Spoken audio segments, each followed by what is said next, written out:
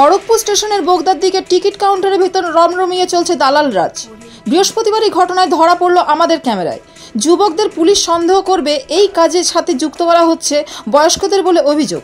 বন্ধ রয়েছে local train, আর সেই সুযোগে কাজে লাগিয়ে দালালরা টাকা নিয়ে ভরে দিচ্ছে দূরপাল্লার ট্রেনের রিজার্ভেশন ফর্ম। দীর্ঘদিন ধরেই চলে আসছে এই কার্যকলাপ। প্রশাসনের দৃষ্টি আড়াল করে চলছে অসাধু দালালদের দাদাগিরি। নজর নেই প্রশাসনের। ফর্ম ভরতে এখনও লাগছে তিরিশ বা তার অধিক টাকা।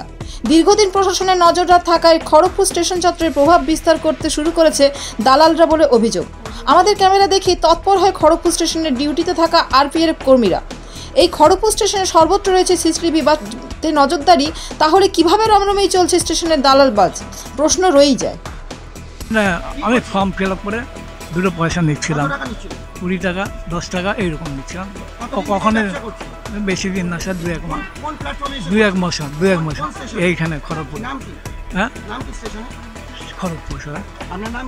আচ্ছা আপনি টিকিটটা কেন নিচ্ছেন? আচ্ছা ঠিক আছে কেন নিচ্ছেন?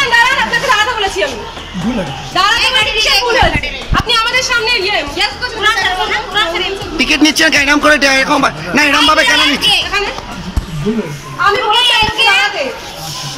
আপনি এইভাবে কেন নিচ্ছেন? আপনি দাঁড়ান।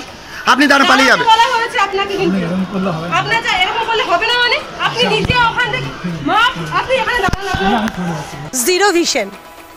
সবার সাথে সবার পাশে। Zero vision. জিরো ভিশন আজ কলকাতা তথা গ্রাম বাংলার পশ্চিমবঙ্গের সাধারণ মানুষের পাশে এসে দাঁড়িয়েছে। জিরো ভিশন সবার সাথে সবার পাশে। আপনারাও পারেন। জিরো ভিশনের মতন সবার পাশে এসে দাঁড়াতে। আসুন না, সাহায্যের হাত বাড়িয়ে দিই। আপনারা যদি সাহায্য করতে চান, তলার এই নাম্বারগুলোর সাথে যোগাযোগ করতে পারেন। প্রত্যেকটাই আমাদের জিরো ভিশন সংস্থার নাম্বার। ভালো থাকুন, সুস্থ থাকুন।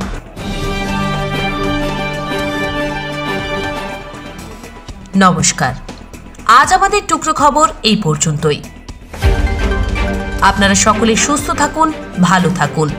আবার আপনাদের সাথে দেখা হবে এরকমই কিছু টুকরো খবর নিয়ে।